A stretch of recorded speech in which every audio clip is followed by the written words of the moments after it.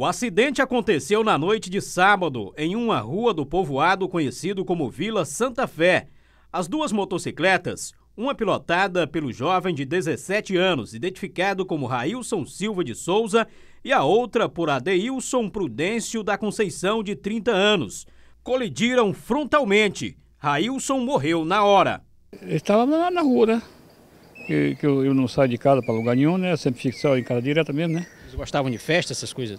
Eu nunca vi ele em festa assim, não, moço. Essa noite que deu esse problema com eles, né? Eu nunca mesmo, realmente eu nunca vi. Ele saía assim, saía, mas voltava logo, que ele envolvia muito com o estudo dele, né?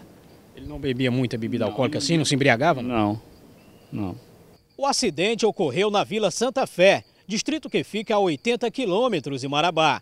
Segundo informações de familiares, as duas vítimas estavam conduzindo motocicleta sem uso do capacete no momento do acidente.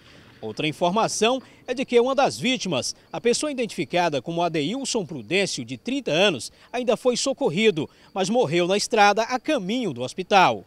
Nas imagens das vítimas depois do acidente, é possível ver que os dois bateram fortemente a cabeça com o impacto.